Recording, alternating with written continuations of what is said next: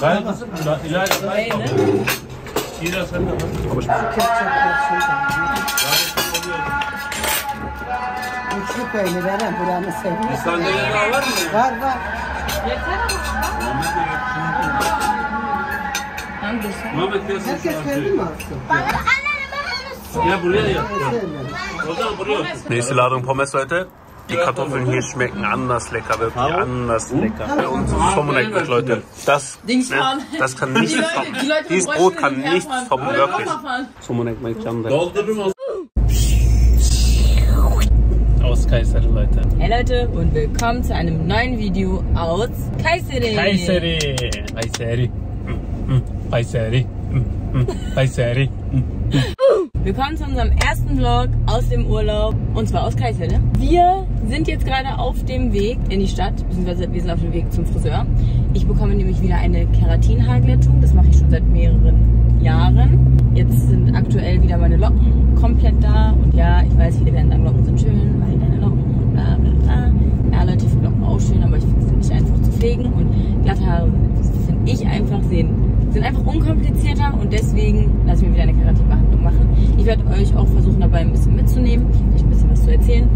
Adam wird das Auto waschen gehen, glaube ich, und mit seinem Genau, ich glaube, Werkstatt. ja, für Autowaschen und Sanai, das sind so Werkstätte, da machen die alles quasi, da wollen wir hin, da wollen wir ein paar Sachen machen, das zeige ich euch dann auch dann später.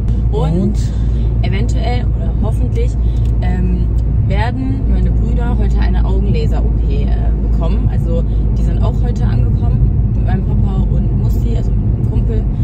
Und ja, die sind hier wegen einer Augenlaser-OP. Ich hatte ja auch eine vor zwei Jahren. Ich habe es noch nicht hinbekommen, das Video dazu zu schneiden.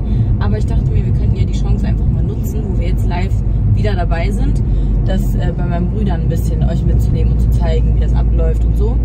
Ähm, habe jetzt auch schon Musti beauftragt, dass er den Vlog starten soll für uns, weil wir jetzt bei den Kontrollen erstmal nicht dabei sind. Das wird er bestimmt super hinkriegen. Grüße gehen raus an der Stelle, muss ich. Eine, Dankeschön. Und wir werden dann auf jeden Fall, wenn nachher die OP tatsächlich stattfinden kann, ähm, ja, dann auch dabei sein und danach und dann, wie gesagt, filmen wir einfach ein bisschen mit. Das ist der Plan für heute und ja, bleibt einfach dran, würde ich sagen. Und abonniert natürlich den Kanal, Leute. Genau, Leute, und ganz wichtig. folgt uns auch bei Instagram. Wir Auf sind nämlich jeden auch Fall. sehr aktiv in unseren Stories. Äh, da seht ihr natürlich immer früher, was wir machen ähm, und wo wir sind und alles.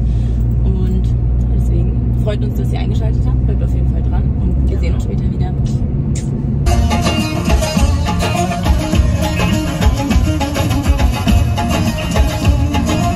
Wir sind jetzt beim Friseur, ich lasse jetzt Rabi ab. Ich frage aber kurz, ob die meine Haare auch mal schnell waschen, weil ich habe es nicht geschafft zu duschen. Dementsprechend sehen meine Haare auch aus. Wir sind jetzt beim Friseur. Es ist extrem voll.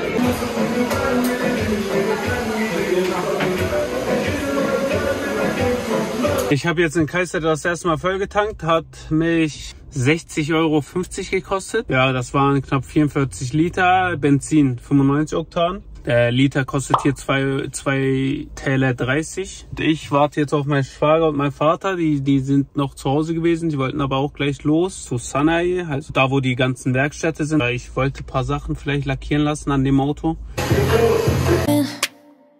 Yeah, like a little text saying, hey, what's up? They look at me, I'm in a bad situation. Look at him, he's got a bad reputation. They be looking at us. So Leute, wir sind jetzt hier in äh, Sanai. Einfach voll mit Werkstätten, wirklich, das ist hier gerade gar nichts. Ne? Das ist hier die eine Seite nur, eine Straße, sage ich mal so. Das, das geht einfach weiter, Leute. Überall sind einfach Werkstätte, auch quasi so Fachwerkstätte, sage ich mal so. Eine Werkstatt macht quasi nur Motoren, eine Werkstatt macht nur so Lackiererei, eine, eine Werkstatt macht nur Karosserie. Und das sieht hier so krank aus. Ne? Die machen wirklich alles. Was ich vorhabe, ist das hier auf Hochlandschwarz zu lackieren. Und das ist ja hier serienmäßig nur auf Hochglanzschwarz, aber ich möchte, dass das auch hier auf Hochglanzschwarz lackiert wird. Ich will halt nachfragen, wie viel das kostet. Und ich habe mir noch so einen separaten Diffusor gekauft. Den werde ich auch auf Hochglanzschwarz lackieren. Ja, und das kommt dann separat auch hier hinten ran, Leute. Hier sind safe, safe mindestens 500 Werkstätten auch nebeneinander. Ne? Du fährst die Straße hier rechts runter. Das ist noch eine Straße, so wie hier. Da sind die Werkstätten auch wieder nebeneinander. Und da fährst du noch eine Straße weiter. Genauso gehen die da ein paar hunderte Werkstätten nebeneinander. Hier ist schon sehr krass und nice. So Leute, ich sehe wunderschön aus. Ich Ich warte jetzt 45 Minuten, bis dieses Mittel einwirkt. Ich war gerade auch schon ein bisschen draußen.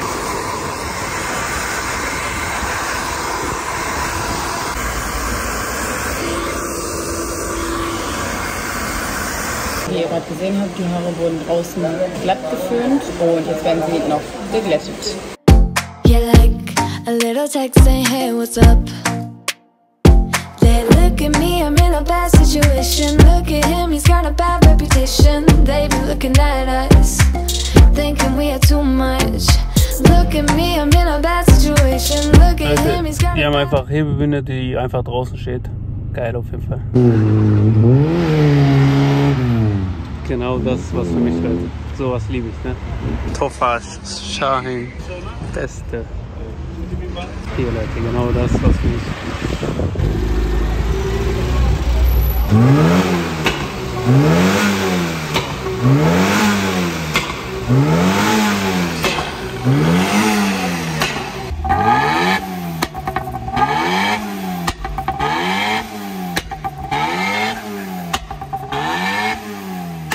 Rabi abholen. Sie ist zwar noch nicht fertig, aber ich fahre erstmal hin.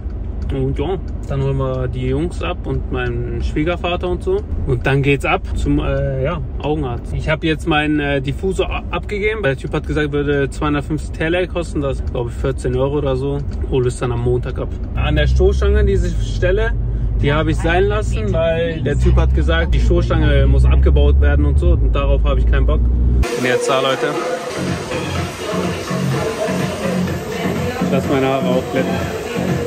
Solange noch Rabis Haare gemacht werden, die ist da hinten, nutze ich die Zeit und da bearbeite das YouTube- YouTube-Video noch weiter. Hier auf ganz entspannt. Und ja, habe mir noch was zum Snacken geholt. Einmal hier Fuse-Tee, Wassermelone und einmal Changa. Changa, Changa, Changa. Da hinten ist die Leute am Handy. Das ist wirklich Leben, Leute. Einfach Leben, Leben. Wenn ihr versteht, was ich meine. Einfach nur genießen, kein Stress.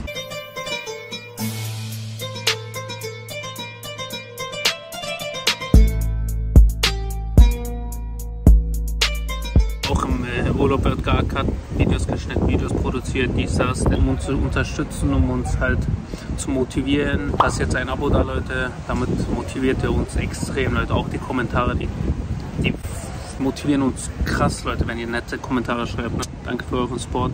Liken auch nicht vergessen, Leute. Das geht raus. Er dann bearbeitet einfach im Garten.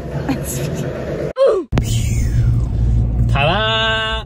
Leute, look at my hair. Ey, wie krass glänzen die aber auch. Also Leute, ich saß jetzt gerade fünf Stunden beim Friseur. Fünf Stunden. Und die haben wirklich Strähne für Strähne geglättet. Strähne für Strähne. Das war, die haben sich wirklich extrem Mühe gegeben. Ich bin sehr, sehr zufrieden mit dem Ergebnis. Ich muss die Haare morgen auch glätten und die meinten, ich kann auch vorbeikommen. Dass sie mir schnell die Haare nochmal rüber glätten und in zwei Tagen darf ich sie dann waschen. Ich habe das ja jetzt schon mehrere Male machen lassen. Ähm, ich bin gespannt, wie das Endergebnis ist nach dem Waschen. Das ist ja das Wichtige. Jetzt, äh, dass sie jetzt schön aussehen, bringt mir ja nicht viel. So werden sie natürlich nicht aussehen, aber zumindest so ähnlich, also einfach glatt. Das Ganze hat jetzt 2000 Telle gekostet, ungefähr 110 Euro, also nur das Glätten. Und dann habe ich mir noch ein Shampoo dazu gekauft, 250 Milliliter, was 330 Teile gekostet hat. Dann Pipapo 18 Euro. Ähm, das sorgt halt dafür, dass auch diese Glättung länger hält. Und genau, dann nochmal 200 Teile für ein bisschen Spitzen schneiden. Das sind ungefähr ja, ein bisschen, so 10 Euro oder so. Genau, dafür, dass ich nur einmal im Jahr oder so zum Friseur gehe, ist das auf jeden Fall in Ordnung. Also in Summe hat das jetzt, glaube ich, um die 140 Euro gekostet. Schnitt, Glättung und das Shampoo. Ich bin super zufrieden, Leute. Jetzt sind wir gerade auf dem Weg und holen meinen äh, Papa, meine Brüder und Musti, also den Kumpel ab von äh, meinen Brüdern. Es geht nämlich zur Augenlaser-OP. Es hat alles mit den Kontrollen nur geklappt. Musti hat wohl auch aufgenommen für euch. Äh, Also wir werden zu dieser Augenlaser-OP aber ein separates Video machen. Wir werden das hier nicht mit den Vlogs vermischen. Ähm, das wird dann wahrscheinlich auch erst schätze ich mal, wenn wir wieder zurück zu Hause sind. Das hat keine Eile, Leute. Genau, das hat keine Eile. Also wir machen das jetzt nicht irgendwie, dass die Augenlaser-OP jetzt nach diesem Vlog direkt kommt, bevor der nächste Vlog kommt. Darauf achten wir jetzt nicht. Wir begleiten die jetzt zur OP. Ähm, werden euch aber nicht viel zeigen, beziehungsweise ja eigentlich fast gar nichts, weil wir dann alles parallel für das Augenlaser-Video aufnehmen werden. Wir sind jetzt im Krankenhaus. Wie gesagt, die OP und alles zeigen wir euch in einem separaten Video. Aber ich finde es gerade irgendwie total lustig, dass äh, Musti hier einfach im Baderaum sich einen Kaffee gönnt. Darf man das überhaupt? Tja, tja. Hm. Manchmal einfach nicht fragen, ne? Wir sind jetzt aus dem Hotel ähm, raus, haben jetzt meine Brüder, Baba und Musti alone gelassen. Die Schmerzen fangen langsam an. Also die Schmerzen gehen langsam los. Und es kann wirklich niemand nachempfinden, der das nicht durchgemacht hat. Es ist wirklich sehr schlimm.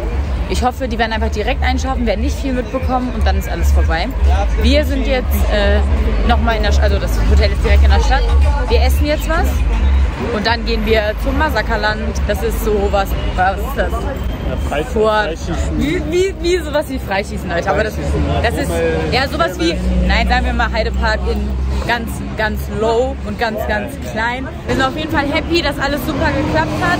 Jetzt hoffen wir nur noch, dass sie keine Schmerzen haben, in Ruhe schlafen. Alles sehr, wirklich sehr detailliert. Ich habe mir das Video jetzt noch nicht ganz angeguckt, aber Musti hat mir schon die Videos gezeigt, wo er wirklich jede einzelne Kontrolle aufgenommen hat, wo ähm, im Warteraum, in den einzelnen ähm, Untersuchungsräumen. Ich durfte mit, Leute, ich durfte mit in den OP-Saal rein. Ich erzähle da zwar nicht viel, ich war eher dabei, so meinen Bruder ein bisschen zu beruhigen, aber ihr seht zumindest mal, wie sowas abläuft, wie lange es dauert. Also bleibt gespannt. An alle, die Interesse an einer Augenlaser-OP haben und äh, vielleicht vor allem auch in der Türkei, ne? Es ist halt einfach günstiger und es ist top.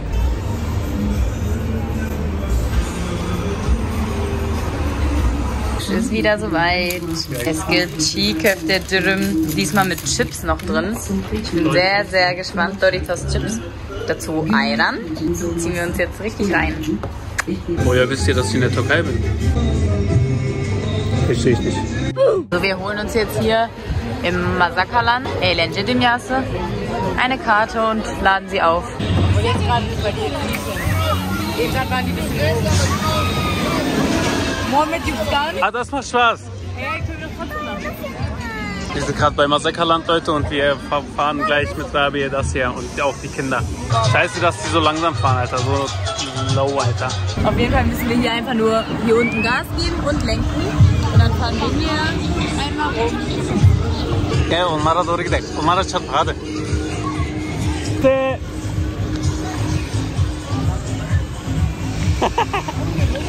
Dön dön dön dön dön dön. Taktik Leute, taktik taktik.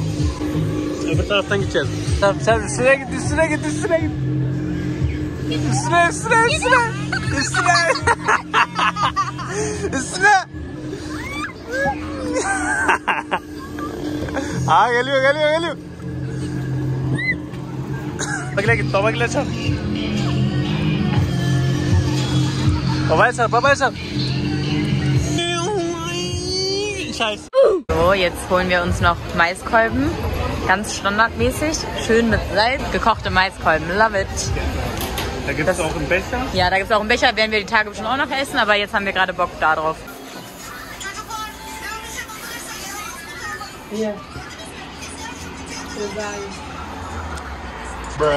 Good morning in the morning, Leute.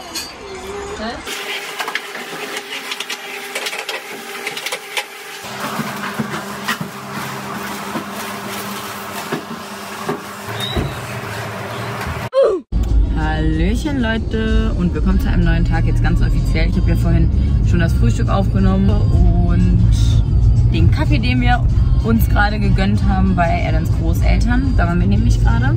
Jetzt sind wir auf dem Weg nochmal zum Friseur.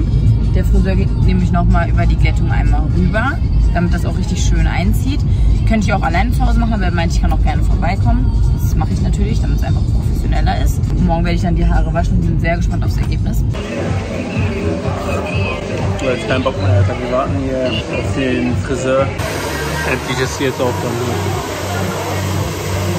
Biz Gözdemirliyiz Aslan gibi Kayseriliyiz Biz Fat gibi Kayseriliyiz Ay ay ay ay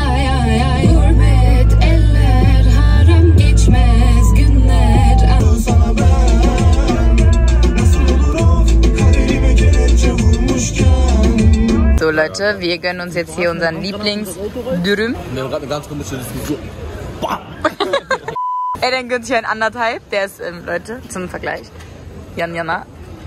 Ja, der ist ein bisschen größer. Und hier haben wir die Schnuckis hier angetroffen. Den Augen geht's blendend, Leute. Das Video, Das Video kommt, wie gesagt, separat online. Leute, wir sind hier gerade am Kayseri Meydan.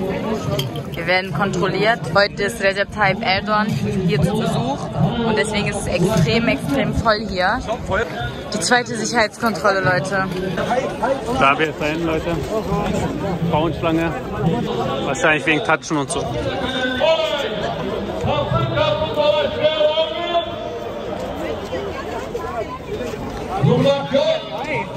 Sicher, dass du nichts dabei hast? akıbet hayır sözündeki hikmete inanın. Eğer şartlara teslim olsaydık değil 20 yıl, 2 yıl bile bu ülkeye hizmet edemezdik. Leute, wir sind hier gerade in einem Gardinenladen. Die Jungs mitgeschleppt. Sieht ganz schön süß aus hier drin. Ich habe mir jetzt Gardinen ausgesucht. Also äh, für die diese Seitengardinen habe ich mir diese Farbe ausgesucht. Und ja, jetzt gehen wir aber auch weiter. Jetzt sind wir wieder im Çarşı mit Kayserispor. Kayserispor? Kays ist doch Kayserispor. Ach so, ich dachte, das diese Kayserispor oder so.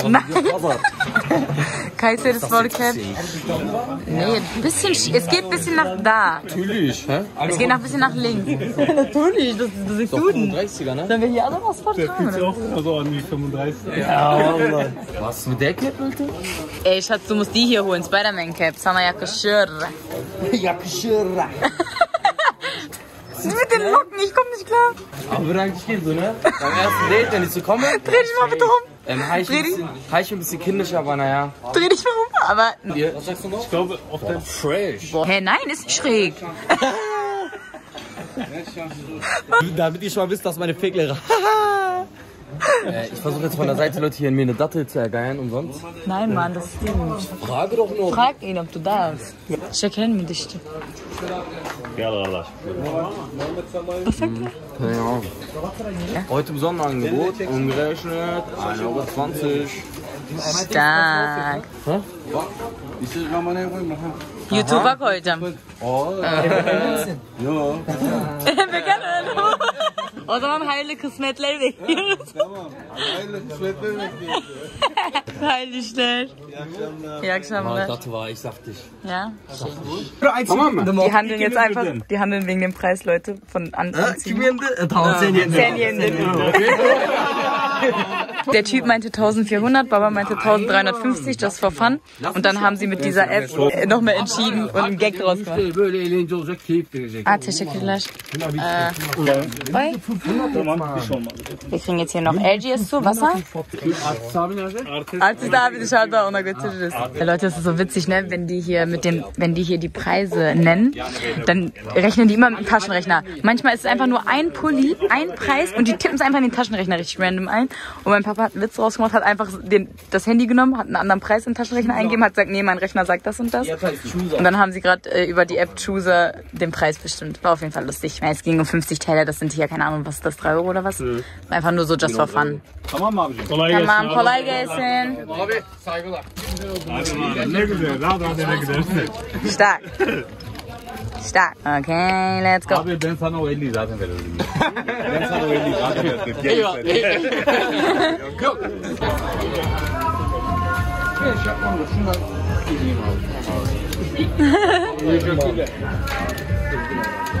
Gib den Jungen auch. Al abicim sen de al. Wie süß. Hi, Akşamlar. So, Eren ist jetzt hier bei Kassetçi Ercan und lässt sich eine SD-Karte mit Nostalgie türkischer Mucke machen. Woo! Hoppa! Jetzt ist Zeit wieder für Media. Ich könnte sowas niemals probieren, aber Weißt du? Zeig mal. Die Muschel, das Fleisch. Der Ritz ist Reis. Oh, Alter, das sieht aus wie eine Schnecke, Diggi.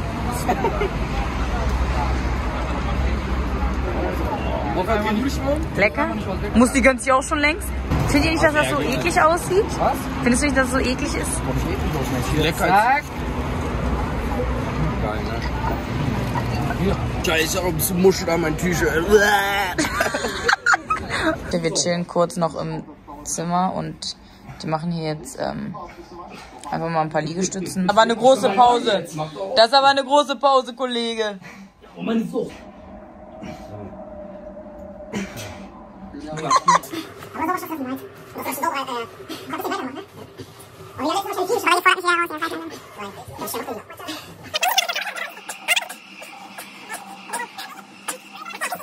Leute, die Challenge geht übrigens so, man macht eine Liegestütze, steht dann wieder auf, dann macht man zwei, steht auf, drei, steht auf, vier, steht auf, bis zehn. Mach weiter.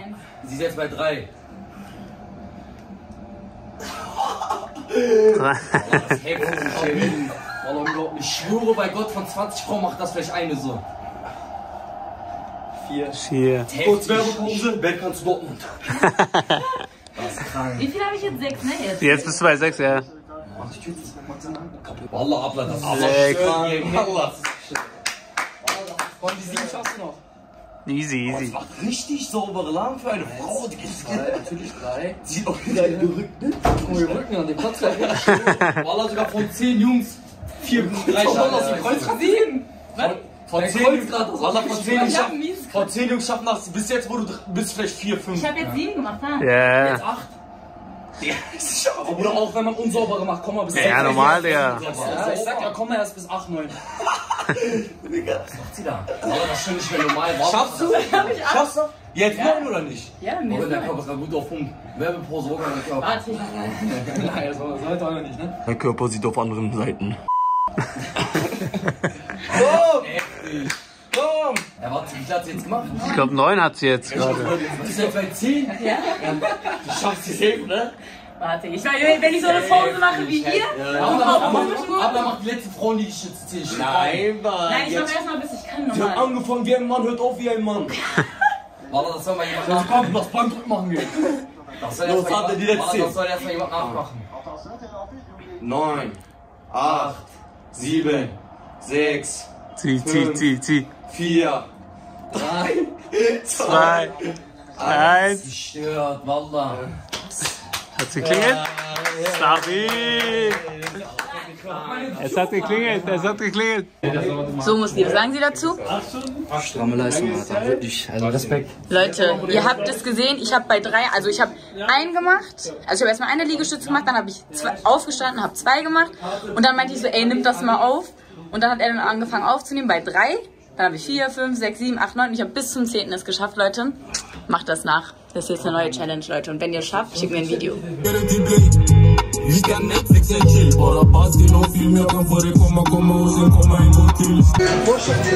Leute, wir sind jetzt in der Shisha-Bar. Was haltet ihr von Lady Killer und der süßen Schreibweise? Ich liebe es einfach in der Türkei, Leute. Einfach nur süß.